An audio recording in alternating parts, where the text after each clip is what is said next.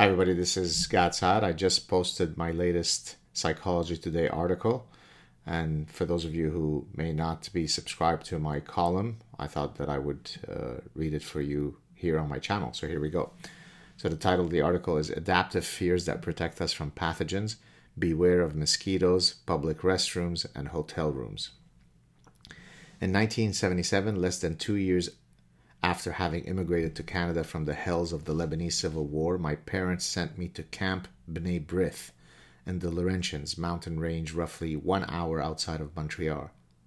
There, I would repeatedly encounter two of my lifelong fears one, mosquitoes, two, using public restrooms, a manifestation of my hyperactive disgust response at the possibility of being contaminated by another person. I am unsure that I've fully recovered from the horrors of that summer, which included hiding from mosquitoes, an impossible task, whilst not going to the bathroom for many contiguous days.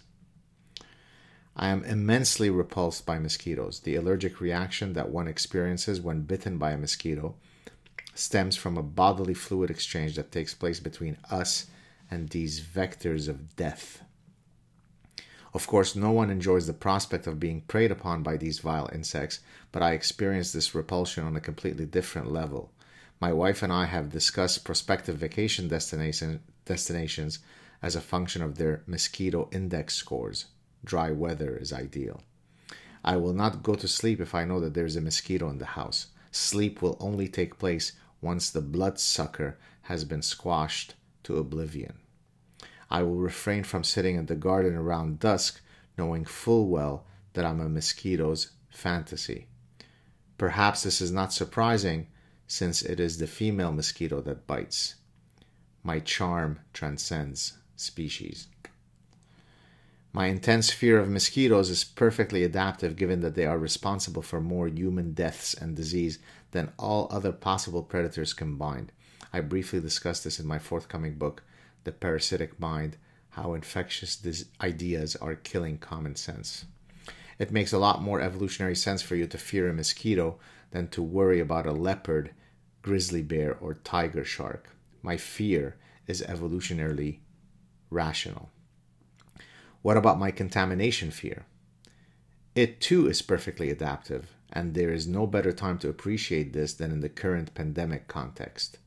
My disdain for being exposed to other people's biological materials manifests itself in countless contexts.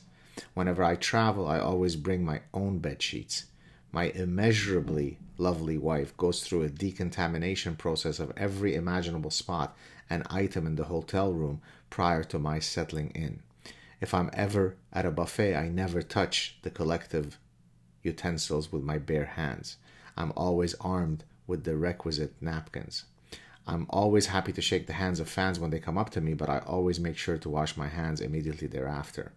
It is no coincidence that I often resort to fist bumps then rather than moist handshakes. Some might view my behaviors as quirky. I'd rather think that I possess a well tuned behavioral immune system. This brings me to a more general point rooted in Darwinian psychiatry. Many of our anxieties and fears are perfectly adaptive as long as they are modulated within a functional range. The problem arises when these sources of mental anguish lead us to dysfunction. Take, for example, OCD.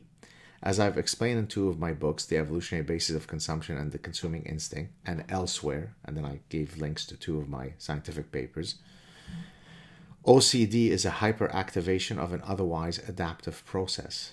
See the latter sources for other relevant references. To wash one's hands thoroughly once upon returning home makes adaptive sense. Washing them for four hours prior to heading off to work is excessive.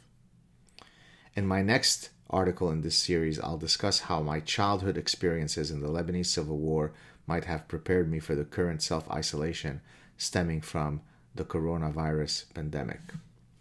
There you have it, folks. Uh, please stay safe. Try to keep yourselves busy. We will get through this. We will persevere. It's tough on everyone, of course, on some more than others, but we shall come out of this stronger, more resilient, and uh, better for it once this whole pandemic lifts from our realities. Take care, everybody. Have a great weekend. Cheers.